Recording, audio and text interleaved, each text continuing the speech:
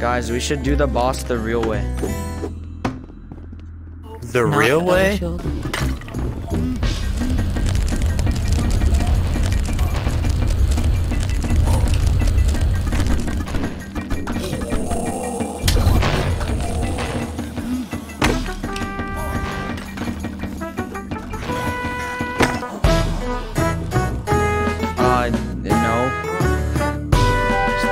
Apparently there's a non-legit way.